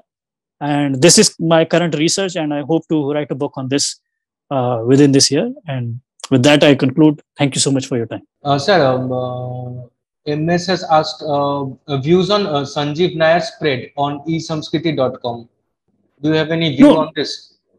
No, Sanjeev, he is actually very, uh, we are, we follow each other on Twitter. But, you know, I respect him and he is also so the greatest scholar uh, of uh, modern Sikhism. His name was W.H. MacLeod. He was from New Zealand. And that we have a thing like Sikhism in graduate studies in the West is because of this one great man, W.H. MacLeod. And you cannot imagine how this guy was harassed by this SGPC and this Khalistani lunatics. Like if I wish bad on somebody, is there is like a guy in Canada, California, his name is uh, Jasbir Singh Mann. And every great scholar that has come he has basically destroyed their lives and done everything. You know you can't even imagine like how vindictive how malevolent and uh, venal these people are. Anyways so you know he has read macleod books. So of course you know it it just shows. So he writes better than anything that you read anything. But again some things also like for example 5ks so you know sanjeev ji sent me a message like look at this and then i said sanjeev ji this is actually not true there is no basis for 5k and after that you know they were saying we will carry kirpan to uh, the aeroplane or something like that. Then I came out and released this. There are a lot of things that I have not released because I don't want to gratuitously hurt people. People also have to be ready to digest the truth. But again, that this I have already said, so I'm telling you there is no basis for 5Ks, which have they have made foundational to faith and not just made foundational to faith. They are calling, they are uh, what do you say, disbarring people from the faith or being part of the faith. Like you can't vote in SGPC election if you don't have so no, this has become the definition of Sikh, which is completely a British invention. Uh, Subhajyoti Mitra ji has said, uh, how AAP can be a threat to Punjab, AAP? No, this is again, you know, politics. Uh, you know, po- politics is again, you know, like I, my subject is history, right? And uh, hi- history also of this Khalistani terrorism. This politics, you can get pretty much anybody and they will have comment and everybody has an opinion. So I, I do it. But, you know, again, like I just like looking at it very objectively I think AAP is like a very opportunistic party and they are not serious like what kind of statements they were making. But at the same time, I if I want to see like the positive sides, you look at not just like the Sikhs, but the Hindus, which should be most concerned about the security, right? Because they, you know, that's another topic in itself what hindus suffered in punjab and i've also given a talk on it somebody can google hindus in punjab in 1980s but hindus have also voted in the same manner for aap and aap can be opportunistic cynical but they are not stupid. So they will they should worry about punjab a because their vote is not just sikh but also hindus. So they have to protect them. B if they make a mess of punjab then they should forget india. And it's very easy to make a mess of punjab. So i think they will try their best to actually run it well. Because if they make up, then they have no argument. In Delhi, they just say Modi doesn't let us work. But if they make a mess of Punjab, what what case they can make in Himachal or Gujarat or anywhere in the world, anywhere in the India? So they have incentive to run it well. Whether they have the competence or the sagacity to do it, it's an open question. I don't want to go into it. Sir, I have a question uh, that uh, are there any instances of any Rajput converting to Sikh uh, from uh, a person, a Rajput and Sikh at the same time? Yeah, so many. Like, uh, what do you say? Like, uh, okay, he was like a monster. This guy who basically like uh, bombed this Air India. His name is Talvinder Singh Parmar. Now, Parmar are Rajputs. Okay. So Sikh, basically, if you look at this, huh, Sikh being a Sikh was like you know this. They had this pan idea thing. Like I said, the letters are going every, everywhere. They are translating classical text into Braj Bhasha, they were not translating in Punjabi because Braj Bhasha was understood by the most number of Indians at that time. So that when the Gurus translate or in Maharaja Ranjit Singh's time, the books that are written, they are written in Gurmukhi script, but they are not written in Punjabi. They are written in Braj. So maximum number of people can understand. And they, as I said, it was not printing press, so you can take a book and buy it. These were mainly to be sung. So they sung in a language that anybody understands. Now again, I talked about Ratan Singh Bhangu you know like uh, he says when the guru says okay now we have a khalsa whether you want to go to like east or the west like entire india is open and they're like no no we are in majha we want to focus here. So this idea also when guru writes a letter you know when he says punjab this punjab comes from basically main from he writes madhradesh like for example if you have uh, listened to mahabharat, so N- nakul and sadev they are uh, they are the children of madri. Madri. So madhradesh is punjab. So when Guru writes letter, he doesn't write Punjab. He's again and again putting himself in the larger mythological context. So he says we are Suryavanshi, like we are from the sun lineage. Uh, the gurus were from the, the dynasty of uh, Ram. We are the we are the children of Love and Kush. We are from Madhra Desh. So there is no con- conception, you know, about language or locating this thing to a, a geography. It was like the you know confidence the entire country is ours it is restricting you know to say for example vishnu's is usually 9 or 10 avatars if you include buddha. What guru says is 24 avatar. And you know what he's trying to do is trying to synthesize everyone. So for example he puts buddha as the uh, as the avatar after krishna uh, uh, after uh, right? He puts buddha. But now what to do with the jainas? Because the thing is mahavir and buddha come at the same time. So the two avatars cannot exist at the same time. So he puts parshvanath the one who came before Mahavir as, as also an avatar of the Vishnu. This nobody has done. But what Guru was trying to do was try to synthesize all these things because that's why India was uh, losing. One was technology, you know, like uh, what do you say? Uh, we didn't have war horses. So war horses came from Central Asia. That's why if you look at gurus, there is a lot of focus on the horse. Then when he saw the artillery is coming and artillery is be- becoming what do you say, like more powerful. So in Shastra Mala, he says Askirpan, Khando, Khadak, Tupak, Tapak, Tir, right? But if you look at this, you know, and these are the weapons that come and they're traditional weapons. But he focused on uh, artillery the most because he could see this would be the future. So now when I talked about Ugradanti Bani, you know, like uh, this section. So again, you know, he says when he's talking about Durga, he talks about Durga's weapon, but he's also says Durga Top Chalanti. You know, like he he tried to make even the what the cannon as the weapon of Durga because it's a modern time. So he was a modernist and he was trying to incorporate there is a Shak tradition, there is a Vaishnav tradition, there is a there is a Buddha tradition, there is a Jain tradition. He was trying to synthesize everything. And this is the effort of the gurus, and we have to take it forward. It's not like, you know, okay, there is a perfect being and we can't question and we just become, you know, there is a uh, when Islam died this intellectual death in 1000 AD, the idea came taqleed. Taqleed means, okay, this is the truth, this is what has been written, this is you can't question, you can't use your brain. And this is what they have done. All this is taqleed. Whereas if you are a living thing, you have you have to look to the future. You know, if you're inspired by what do you say, uh, Shivaji Maharaj, it was, it was Shivaji Maharaj, okay, like, you know, he died in 1680. Then his son Shambhaji, he fought so bravely for much longer. And what do you say? He died the most painful death. But it was Bajirao. He, he spread the Maratha Empire everywhere.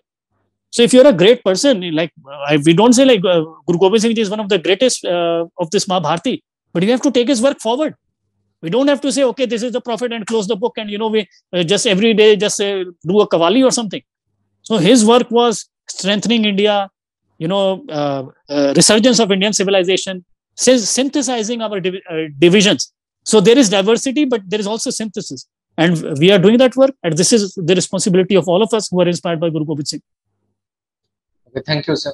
Sir, uh, when we say Afghan Sikh, so are these people indigenous to Afghanistan or the one who uh, were uh, converted to Sikhism from Punjab and later migrated to Afghanistan? I mean to say, uh, are there examples of Sikhism in Afghanistan where indigenous right. was uh, converted? Right. Right. So this Afghan Sikhs, they also go like to Maharaja Ranjit Singh's time and also like these Khatris. No, they are Pathans. They are ethnic Pashtuns. They are not Punjabis. Mm-hmm. They are ethnic so the thing is now basically they face from Taliban's because Taliban say, oh, you know, you are cowards, you converted our religion or something. So they basically hide and they say they are Punjabis, but they are of the Pashtun stock. And you know, I want to also tell you how this uh, another evidence how this Hindu Sikh division is created by SGPC. So SGPC was in Punjab where they were creating all this uh, nonsense. You know, you have to do it.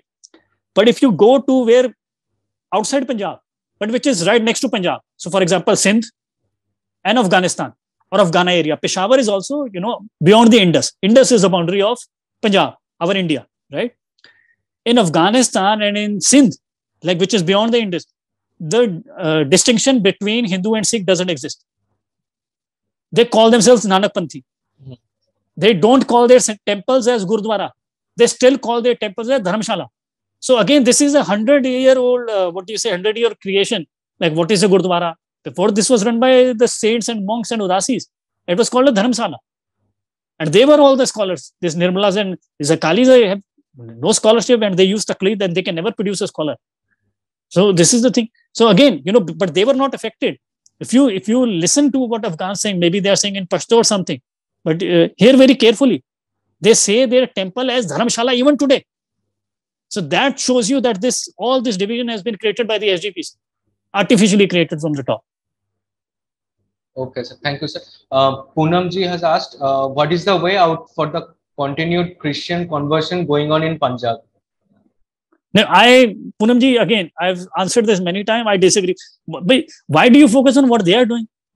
This is not what our gurus have uh, said. The locus of responsibilities lies on you.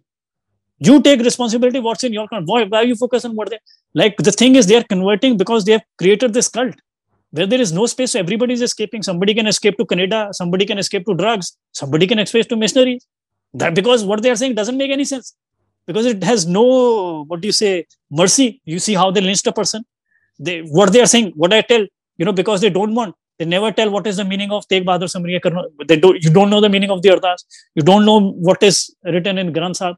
So how can, if you have any brain, how can you just like uh, read in a you know something and not understand? So it is a spiritual crisis in Punjab. That's why people are escaping in all this direction. And if we have to fix this, we have to work for spiritual resurgence. And it can start by simply speaking the truth. Like what there, you will have to pay a lot of cost for it. You know, and I and I, if you are in India, then I don't, you know, you have to be more careful than me. Even I have to suffer so much living in where free speech is supposedly the best protected on east coast of America.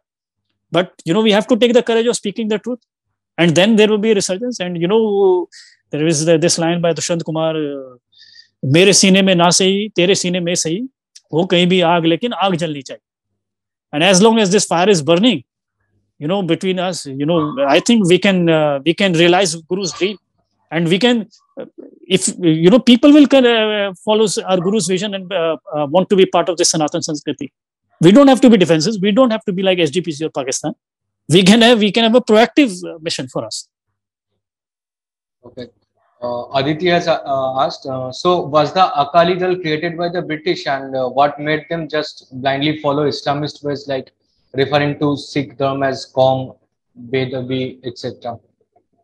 No, the British incentivized. So if you maybe join later, I said they incentivized such behavior.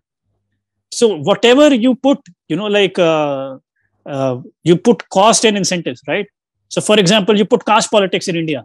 So whoever did it, now there is incentive to playing the caste. That's why Lalu Yadav caste, caste, caste, caste, caste, and the state gets destroyed. Modi is like the biggest achievement. I have like disagreements with him, but like caste has kind of gone to the back burner because again we have to focus on the common humanity.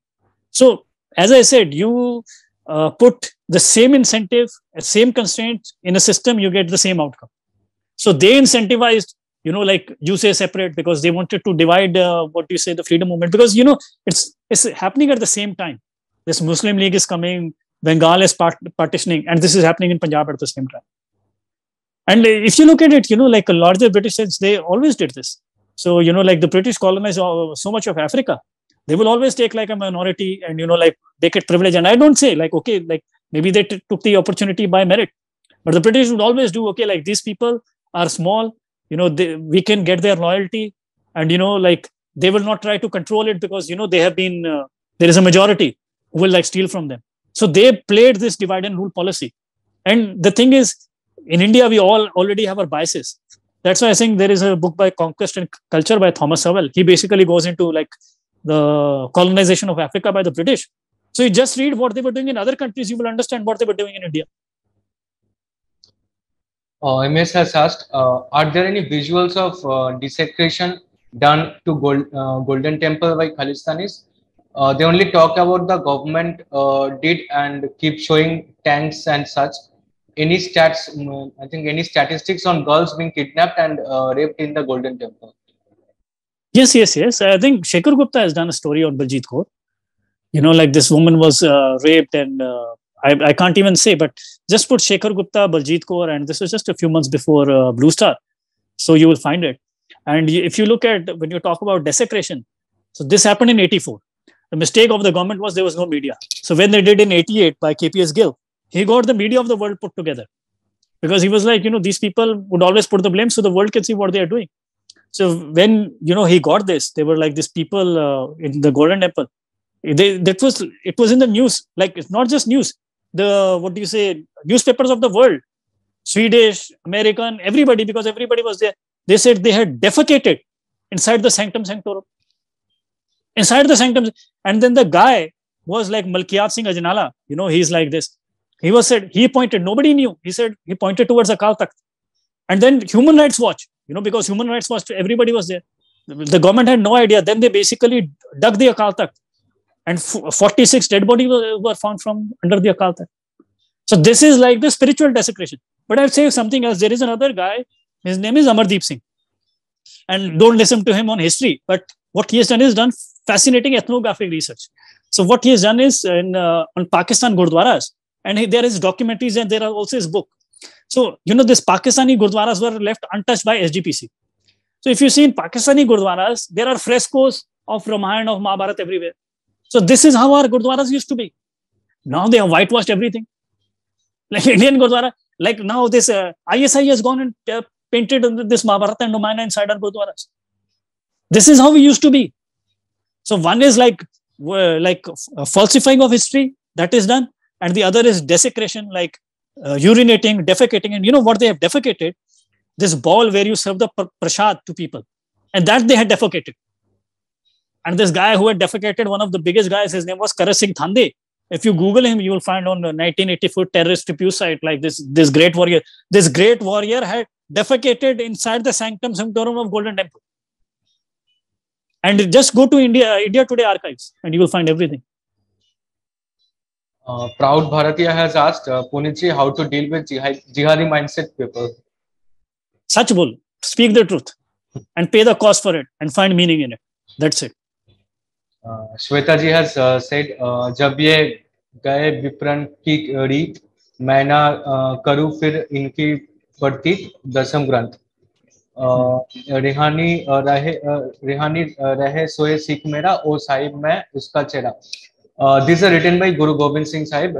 Does it direct to carry Panch Kakkar here नहीं नहीं the thing is again भाई, okay, maybe i go on a tangent but like for example what you understand is what I said is Dasham Granth is an omnibus, right? Omnibus is like a different books together. Now, what you want to do is explain things, right? So explain things. There are many ways to explain things. For example, I talked to Ra- Raja Abhishek. You should not steal. It's a command, like the Jewish command, thou shalt not steal, right? Now, there is another way to say, why should you not steal? Then, you know, like uh, there is, for example, Prophet Muhammad, he would explain in different, like why it is bad. So, for example, he's uh, he would say like, uh, if you take interest on money, for example, there are 70 parts to this sin and the smallest sin is like having sex with your mother. Or he will say for example why backbiting is bad? He's like backbiting is eating like the dead meat of your brother. So it's trying to explain. Another way to explain is writing a narrative like you write a novel right? And you say okay this is this character and this is this character. And this character he basically tries to he steals and this is what he has to suffer. So as a human being you understand that much better. What is done? So what guru gobind singh ji has written a lot of it is narrative. And they just you know like pull it out and say to give you an example there is a line he says uh, kshatriya putu kona so again you know this anti-brahmanism that they have started this foolish this was picked up by Bhindranwala and he, he would repeat it everywhere. He's such an idiot no maharaja Ranjit Singh would give the biggest grant to the brahmins i'm not talking about other brahmins just the kashmiri brahmins they are 11 out of 36 or almost one third of the people who have contributed to Guru Granth Sahib are Kashmiri Brahmins. You know, so he says, now where is this coming from is basically Chobis Avatar, like I said. So when Krishna Avatar finishes and Nar Avatar starts like Arjun, so he makes Arjun also Avatar because he was creating Kshatriyas to fight. And of course, you know, we know from the Gita as well, this is Kshatriya, this is the Dharma. In that context, he has said, but you know he's telling a story and he writes there. If you just read a couple of lines before okay, like this is bhagavad katha and you know i don't want to create any other uh, other dharma or something. I'm just putting you know like putting in uh, lok bhasha. So he's telling a story. Now you find a lot of stories you know like about uh, uh, women or you know like this thing and you know somebody cheats on his husband and you know like so that means women should go out and cheat on your husband but again you, they don't they know don't know any context and they just start uh, speaking this nonsense like i told you about you know like they're the, uh, limited things that they say uh, like for example uh, you know like uh, Tisar Panth. No, again, you know, for example, when Mahabharata ends, I, I forgot it is Shanti Parv or Anushasan Parv, right? So Vishnu Sahasranam or uh, Shiv both come from this in the same chapter. And when you are doing like uh, Vishnu, Vishnu, Vishnu, Vishnu, Vishnu, Vishnu is the greatest. In the same chapter you say shiv shiv shiv shiv, shiv is the greatest. So our understanding again you are using a monotheistic lens. Who is higher? This is higher. Uh, whose father bigger? It is not it's in a certain context. In that context vishnu is the greatest and he has all that attributes. And the same thing is this. So it's henotheism. But again you know like you have to have a certain level of acculturation certain intelligence certain manners to even engage with these people they have nothing they're just like, you know, these Pakistanis, these Khalistanis are like this. You watch my words. They have done everything like, uh, you know, you in UK, like, you know, they did gang bust. You put Canada gang bust, all Jatsik, uh, drug bust, all Jatsik. And you watch five years, you will see like you had grooming gangs in UK, you will have the same in, in Canada. So, you know, what kind of things, you know, like, uh, can do you think you can have a civilized conversation with them? My job is just to inform people what they have done. And maybe you know like the people in the middle they decide for themselves like what is to be done. And we should all work to speak the truth and to know where the poison is coming from. Uh, sir i have a personal question. Do sikh uh, sikh people also have gotras like us uh, like hindus? And of course. Oh. like what i said about uh, guru uh, to give you an example he uh, when uh, guru gobind singh ji I just in the talk i talked about you know he goes to haryana and that is still preserved. You uh, surprisingly i found even a video of it. You know this uh, family has preserved for hundreds of years. Maharaja ranjit singh's ancestors came and you know they sign it and you can read it. And it's so wherever they go they like for example when guru tegh bahadur goes he say i'm uh, sodi khatri from kashyap gotra.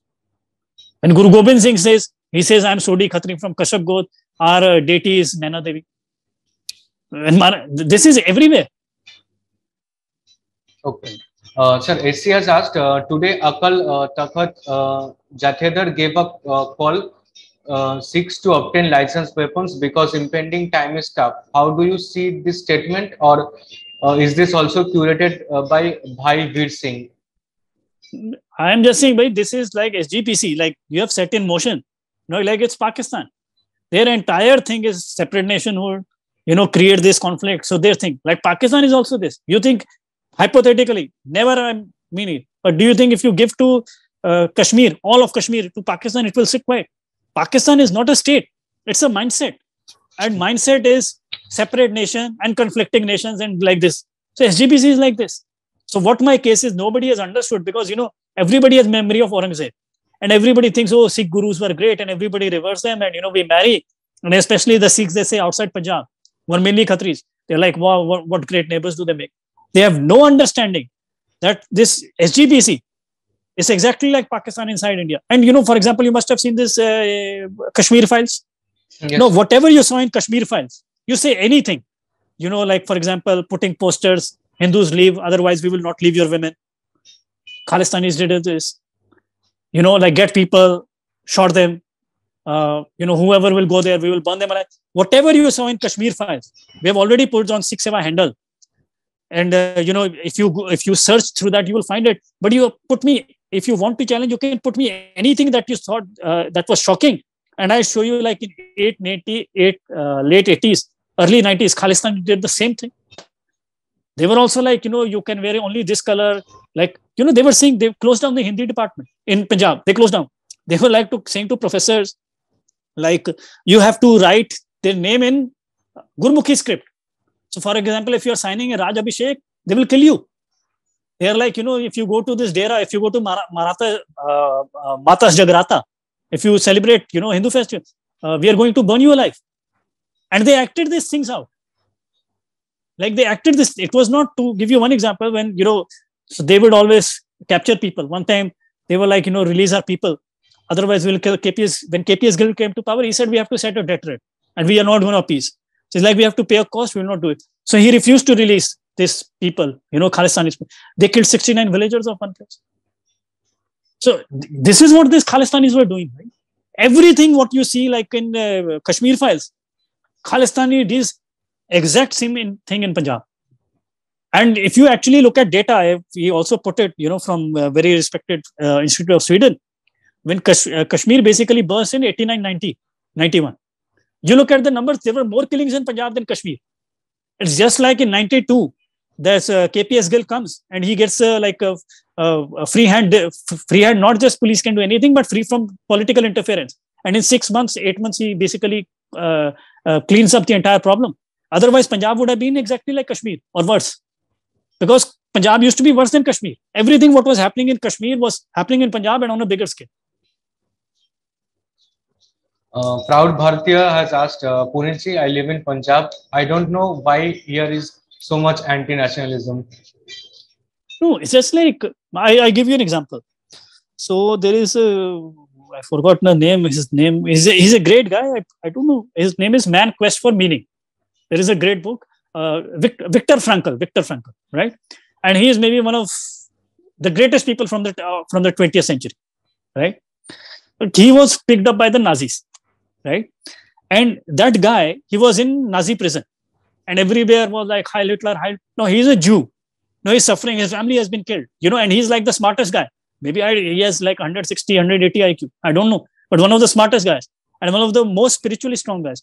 He writes in that book when everybody was saying Heil Hitler, I had to use my entire force not to raise my hand and say Heil Hitler. So, you know, we are social animals. It's not you think we are rational people, we get data and we, we're not like this. So, what the crowd is doing around us, that shapes us in a long way. So, this crowd, especially in SGPC, it is completely unchallenged. We are the first people to challenging them. You know, and uh, thankfully, you know, nobody has released this for 100 years. Nobody checked or who checked. Uh, you know, they didn't have the courage to speak in openly that five cases of fraud. So we are doing it, and it's of course, thankfully, because there is internet, they can't get my neck. I'm, I'm living in America. I'm not in India. Otherwise, I wouldn't have said so. We have a lot of privileges. I'm not like you know rubbishing the contributions of others, but this narrative has actually never been challenged. The Sikh Seva is the first one to basically, you know, openly challenge and bring out the crimes of SGPC in Khalistan. Well, uh, Swetaji has uh, just uh, put uh, uh, Sri Aurobindo's quotation on uh, Sikhism, but I we don't have that much time. I'll just read out the first line. The Sikh Khalsa was an astonishingly original and novel creation, and its face was turned not to the past but to the future. Okay, thank you, ma'am. Uh, DS has asked, uh, do you believe that uh, the Punjabi Hindu exodus murders that occurred in the 1980s could occur, uh, could occur again with the rise of Khalistan? No, um, there are two things. Now, again, there's Punjabi Hindus. Raja was saying nobody talks about it. You know, like we are stupid people because, you know, like history, we don't study like what leads to what. And we have the same thing again and again. We don't study like Pakistan, this same separate nationhood and nonsense lead to like genocide and they wanted to do the same in Punjab. Now, Hindu exodus, like nobody, we found, like, you know, again, our team did it. Again, more Kashmiri, you know, we can't really compare because, you know, they almost entirely left, more than 90% left. And Punjabi Hindus were like a much larger portion of uh, uh, Punjabi population. But more, in absolute numbers, more Hindus had to flee Punjab than Kashmiri Pandits from Kashmir. So if you look from 1981 to 1991 census, 2.5% population of Hindus has fallen. Now, if you look at the population of Punjab was around that time about 20 million. That means 5 lakh Hindus. That means half a million. But there is also another side to it. So when the terrorism is finished in 1993, so if you go to nine, the next census is 2001, that 2.5% comes up again, which shows like the Hindus at the ground, they were at peace. It was just like, you know, there was no rule of law. SGPC had been unleashed and criminality and they were doing it. It was not their neighbors who were oppressing them. Ordinary people on Punjab, they, they didn't really have that much conflict. It's the SGPC and then this criminal elements. You know, you can lynch people and go to SGPC and do anything in the name of religion. That is basically, and what Gill came was like, these are criminals and I'm going to deal with them like criminals. And th- then everything was all right and every most of them came back as well. So yeah, so there are both sides. More, more Hindu left, but many a Hindu came back back again as well. So the Hindus don't have problem with the Sikhs, but yes, this SG, this cancer, Pakistani cancer that we have in SGPC, it is always playing religious politics, and you know, in the name of religion, the government is also like a bit careful not to offend, and you know, they create this where there's law and order. Now anybody can go and like you know shoot anybody. Okay. Uh, Ranganath uh, Shukla ji has asked how uh, Bhindranwale became hero among Sikhs, uh, though he created a solid ground for separatism. No, no. And So that there are two things. If you listen to my talk and my research, this is basically the popular belief that you know Bhindranwala came and Mrs. Gandhi miscalculated or something like that. What my researchers think, and of course, and I'm standing on the shoulders of giants like and Gerald Barrier and uh, uh, Harjot Oberoi and uh, Rajiv Kapur. My thesis is this came in like early 1900s from the Muslim League. They were mimicking the behavior, the tactics, the demands, everything of the Muslim League. So th- that is my thing. Now, what you say about Bhindranwale, there is a talk, you know, uh, Bhindranwale uh, about me. Like if you Puneet Sahani Bhindranwale, there is a one hour talk. And, you know, like in that, I break down, you know, from he came in 78, in what he did in 78, what he did in 79, what he did in 80, like all these years, every year is like what he was doing. So, you know, you can, you can do that. Uh, I think that would help. Uh, Shweta ji has uh, said, are uh, any true facts about Banda Singh Bahadur? He was a yogi and tantric before meeting Guru Gobind Singh Sahib. And sir, one thing I have also noticed uh, the martial arts part, the Sikh martial arts, and the weapons. The weapons were already present in the Hindu deities. We see uh, uh, that shastar, what you say in uh, Punjabi, and uh, the martial arts also the Sikh martial arts. That's also has similarities with our Hindu martial arts and so, so again, you know, I, will answer you like again, you know, so my idea is not to give you facts, but you know, like bring something that excites you. So things you made like uh, Banda Bahadur, weapons, no, you know. So you see, like there was nothing of Panch Kakar. There was always a Panch Hatyar. And of course it makes sense, right? Like you have to fight, you have to be ready. So you need weapons. What are, what are you going to do with the comb? Like this is nonsense. What are you going to do with the kada? So the thing is, Guru talk about five hatyar. So I have his letter from 1702, where he says, Come to me with five weapons. Then I have a letter from Banda Singh Bahadur in 1710. He says, Come to me with five weapons. Then in 1810, you know, there's a British colonel, his name was Malcolm. he comes to India and he gets this scholar also from Calcutta, and you know he writes a sketch of the books. It's very interesting, and he says again panch five weapons, and when he writes five weapons, he makes a note and goes there. It's like these weapons and all this worship. This comes from Durga. Yes. So sir. this is a Shakt parampara, and again, you know, uh, so I think I answered. So again, you know, this entire history is fraud. I'm not saying you know some undergraduate is just fraud. They're like I don't know what to say. They're Shankaracharya of this modern psychology. It's Veer Singh. And what I've told you, like I don't know, like uh, when I read this, I'm like, man, can a, really a human being can be so depraved? Like I, I couldn't believe it. Nobody knows it, but I'm seeing with evidence. This is what Veer Singh has done. He has taken a very important historical document and raped it. He has like basically changed the words. He has removed portion he doesn't like, and he has put what he wants. And his books are basically taught to scholars to teach other people about Sikh history and religion. This is the level of deprav- depravity is what they have done to our scriptures. Uh, NSS said, uh, sir, a confusion. What I have understood is that there is no Sikh religion. There is either Hindu or Khalistani. Is it correct? What do you mean by by we are not a concept? Dharma is not mazhab. Like our civilization is knowledge based. So wherever you get a knowledge from, you go. And there, of course, you know, like uh, fundamental teachings, and you know, like uh, an example that you try to do it. So, for example, Gurbani, like what is special about it? It is like uh, Advaita knowledge, but it is composed in music. So, if you go to a Sikh temple, it's sung in ragas. Like even if you don't, you know, like music does something on its own on you. So you become more open to that. The uh, if you my understanding of Guru Nanak is so. For example, it's not Guru Nanak was some prophet. Ki I have some knowledge and I'm going to go and convert. If you look at his travels, so what makes him special is you know like there's great saints. So you know like you don't find many travelers. Okay, you have one traveler like uh, for example Buddha. So he basically wanders just in Bihar. So Bihar is basically Buddha. He does no. We have Adi Shankaracharya. He's like the one of the greatest, but he goes basically to India. What Guru Nanak does is he basically travels much of the world that was known at the time, right? And if you look at it, he's always going not just to you know like uh, or people where have no civilization. Like he is not going to Brampton or Surrey, in, where people have no knowledge and trying to give them uh, what do you say civilize them. So what Guru Nanak is always doing, he's going to IITs and MITs.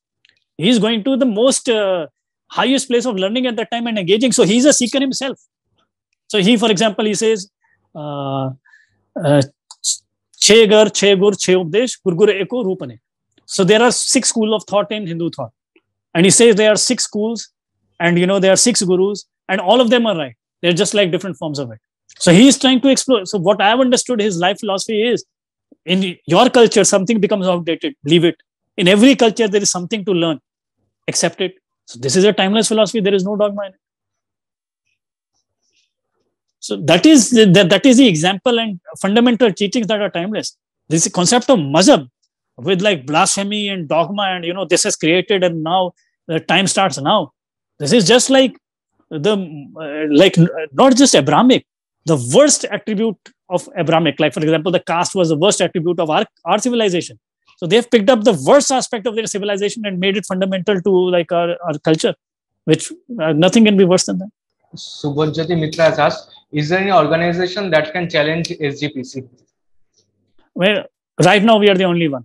Uh, thankfully or uh, regretfully, uh, we are the only one. And you know, like they have really like hit now. Now I have nothing to lose, and I think you know we will not stop because they're not going to let. So this is a fight to the end, and you know whatever they have to do, they can do. But you know, like with Guru's teachings and truth and logos by my side, this is going to be like fight to the end. Whatever they can do, they have tried everything and you must have heard also like you know like now death threats are going into like the, even in articles or something like that what they're doing. But now it's just like this you know like yeah uh, whatever it is. So we are there and i'm sure you know like people will will come on itself and also like start speaking. Because you know this live to give you an example like for example this Kaur thing last thing and maybe. So for example this this such an artificial creation like i said you know guru's wife is devi. Now when bhagat singh recently there was bhagat singh we were celebrating him no look at bhagat singh this this case went to court right so bhagat singh mother's name is there bhagat singh's name is mother name is vidyavati devi so he's a jat singh he's a revolutionary And again, Khalistani, if you go on Wikipedia, they're again making it Vidyavati Kaur. They're again, you know, like that's how they falsify history. Now, the person who testified, who gave uh, testimony against him, his name was Ujjal Singh. Ujjal Singh was the uh, chacha or the uncle of the celebrated author Khushwant Singh, right? So he gave their testimony in court. His mother's name is also there. She's also a Devi. So now we have two Sikhs, one from a farmer family, one from a industrial family. One is a loyalist, one is a revolutionary. Both are, are Devis. Now they say Guru has said to create Kaur, which has nothing existed. And I ask any Punjabi, any Sikh, you know, you do this example at home. You go to the oldest member alive in your family, right? And you ask that person who is the oldest female that he remembers, dead or alive. If that woman was born before 1915, her, her name would have Devi, not Kaur. So, you know, that's how they created separate name, separate rituals, because nothing like this existed. And everybody believed in the teachings of this. You know, like, again, you know, even though it's in Pakistan, like Baba Bulle Shah. So, you know, say, some people say all Sufis are like, Baba Bulle Shah was, you know, he spoke for the Gurus against the Aurangzeb in that time. And living there, like Gurus left uh, Baja and they came, you know, to hills of Shivalik to fight. He was living in Punjab and Multan, where he said this. So he said Guru Tegh Bahadur as Ghazi, and he said Aurangzeb as tyrant. So if you now, if somebody says, "Oh, like Baba Bulle Shah, you are a Sikh, you can't, uh, you can't uh, read his poetry, you can't read his book, you you can't have faith in him," what kind of nonsense is this? Like Baba Bulle Shah or Waris Shah, they're part of our Punjabi inheritance. But that's like if you ask any Punjabi Hindu, the Gurus are the part of you know like uh, what do you say their Punjabi inheritance, and that's why they can't let them go, and that's why it's an unequal fight because this Khalistan is an SGPC. They take uh, no respite in insulting the Hindu gods and goddesses, but the Punjabi Hindus cannot turn back and insult the Sikh gurus because for them they are equally reverential. Again, you know, like you read this book by Kapur, like how Hindus like really fought, they were getting nothing, but they were like, how can you take this from us that we are Sikhs? You know, we are Sanatanis but we have always revered them we respect them they are they are as much as ours you know we in our home how can you how can you decide we are not it's a, it's like a personal thing between god right even islam says that what they have created is like the worst version of Wahhabism. Because they also think your conversion is between like you and your God and something. They are saying, no, we are going to define. So this is basically takfir. You know, again, you know, to uh, tell people kafir and all this thing. This is what they've started. And this is what they've done, call kafir, kafir, kafir. Okay, just uh, one question has come. Uh, Khalistan is always mentioned one quote from Guru Nanak, Naham Naham Musliman. Why should, uh, why would have Guru mentioned this?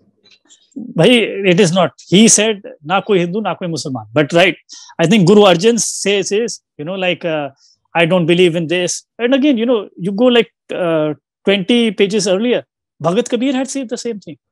Bhai, you read it, na? It's in the same rag. Again, you know, you there is a what do you say? Uh, there is a talk by me with, on Jaipur dialogues.